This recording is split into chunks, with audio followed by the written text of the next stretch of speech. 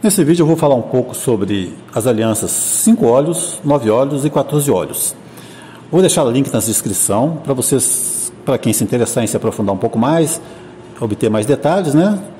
E eu pronunciei Ekelon, mas pesquisando depois no Google, no Google Tradutor, depois de ter gravado, que eu tive essa ideia, o Google Tradutor pronuncia Echelon. Paciência. O que são as alianças 5 olhos, 9 olhos e 14 olhos? Essas alianças são a coligação de países que trabalham juntos para coletar e compartilhar todos os tipos de dados. Basicamente, esses países se tornaram uma organização quase global com acesso a uma vasta gama de informações. Entre essas informações compartilhadas está a comunicação privada entre nós, cidadãos. Se você vive em algum dos países da coligação, é bom você saber que seu governo pode estar compartilhando informações sobre você com outros membros dessa aliança, isso gera grandes consequências e impacta diretamente a sua privacidade online. Primeiramente, surgiu a Aliança Cinco Olhos. A Aliança Cinco Olhos foi formada por volta de 1940. Começou como uma união entre os Estados Unidos e o Reino Unido, o então denominado Acordo UK-USA. O acordo permitiu que os Estados Unidos e o Reino Unido trocassem informações de forma mais fácil. O Canadá, Austrália e a Nova Zelândia se juntaram ao acordo UK-USA posteriormente, pois eram países da comunidade britânica com o mesmo sistema jurídico. Quais são os países membros dessas alianças? Bem, como eu já disse, a Aliança Cinco Olhos, a primeira, tinha os Estados Unidos, Reino Unido, Canadá, Austrália e Nova Zelândia. A Aliança Nove Olhos, que é uma expansão das Cinco Olhos, conta com Estados Unidos, Reino Unido, Canadá, Austrália, Nova Zelândia, Países Baixos, França, Dinamarca e Noruega a colaboração entre esses nove países é menos intensa do que nas cinco olhos. E a última é a Aliança 14 Olhos, que conta também com a Bélgica, Itália, Alemanha, Espanha e Suécia. O objetivo também é coletar informações e compartilhá-la entre os membros quando necessário. O sistema de vigilância Echelon ou Echelon, não sei exatamente a pronúncia. Durante a Guerra Fria, a Cinco Olhos desenvolveu um sistema para interceptar as comunicações dos soviéticos. Esse sistema foi denominado Sistema de Vigilância Echelon. Hoje é usado para monitorar a comunicação de bilhões de cidadãos por todo o mundo. O sistema Echelon é uma sofisticada máquina cibernética de espionagem, criada e mantida pela Agência de Segurança Nacional, NSA dos Estados Unidos, com a participação direta do Reino Unido, do Japão, da Austrália e de Israel. Com suas atividades iniciadas nos anos 1980, o Echelon teria como embrião histórico o UK-USA, firmado secretamente pela Grã-Bretanha e pelos Estados Unidos no início da Guerra Fria. Destinado à coleta e troca de informações, o Pacto Reino Unido-Estados Unidos resultou, nos anos 1970, na instalação de estações de rastreamento de mensagens enviadas desde, desde e para a Terra por satélites da redes Intelsat e Inmarsat. Outros satélites de observação foram enviados ao espaço para a escuta das ondas de rádio, de celulares e para o registro de mensagens de correio eletrônico. Além disso, já sob o guarda-chuva do Echelon, seriam captadas as mensagens de telecomunicações, inclusive de cabos submarinos e da rede mundial de computadores, a internet. O segredo tecnológico do Echelon consiste na interconexão de todos os sistemas de escuta.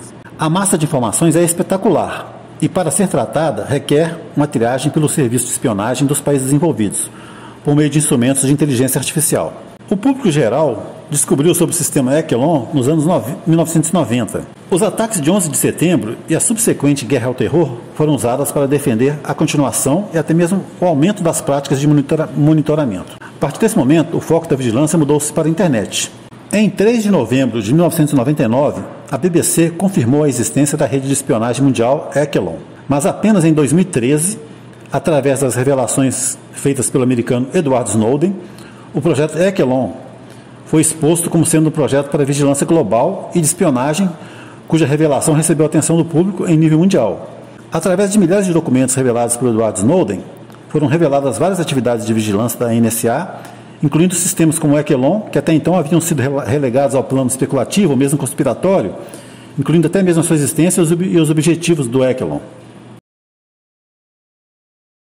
Segundo revelações feitas pelas, pelos documentos expostos por Edward Snowden, várias empresas participam desses programas de vigilância da NSA, entre elas a Dell Corporation, Google, Facebook, Microsoft, Apple, IBM. Cisco, Tricom, Intel, Hewlett Packard, Oracle, Canon, Samsung, Qualcomm, Texas Instruments, ExxonMobil, BNP Paribas, HSBC, Siemens, Alstom, CAF, ALL, Union Pacific, DHL, Mitsui, Caterpillar, Progress Rail, Bombardier, Avibras, Embraer, Airbus, Chevron, Schlumberger, Telefônica, Telenor, Verizon e Vodafone. Ao final da década de 1990, se estima que a rede Ekelon já era capaz de monitorar 90% de todo o tráfego da internet. De acordo com a BBC, em maio de 2001, o governo dos Estados Unidos ainda negava a existência da rede Equilon na época. Hoje, a comunicação entre funcionários dos governos e até entre cidadãos comuns é interceptada e compartilhada com outros países das cinco olhos em grande escala. Devido ao acordo, a escala de vigilância vem crescendo a cada ano. A legislação americana proíbe a NSA de espionar os próprios cidadãos. Para contornar essa proibição, os Estados Unidos transferem para outros países aliados, como um dos países do Reino Unido, por exemplo, a espionagem de seus próprios cidadãos. Por causa da Aliança Cinco Olhos, o Reino Unido pode facilmente compartilhar essas informações com a NSA. Isso cria uma brecha para os países contornarem suas próprias leis de privacidade e utilizarem vigilância em massa sobre os seus próprios cidadãos. Rússia e China também fizeram uma aliança. Elas concordaram em cooperar no que se trata de cyberespionagem para se protegerem de cyberataques. Espionagem industrial. O sistema Echelon tem sido utilizado em prol dos interesses comerciais americanos. Documentos fornecidos por Edward Snowden revelou que a NSA vem espionando a Petrobras com fins de beneficiar os americanos nas transações com o Brasil. Os dados coletados pela, pela Echelon fazem parte fundamental do sistema de vigilância da NSA, revelado em 2013. Os documentos revelam também que a presidente do Brasil, na época, Dilma Rousseff, foi espionada pelo governo americano. E segundo o relatório de investigação feito pelo Parlamento Europeu em 2001, o governo brasileiro colaborou com os Estados Unidos na fusão do Echelon com o Civan, lançado pelo governo brasileiro pelo presidente da época, Fernando Henrique Cardoso.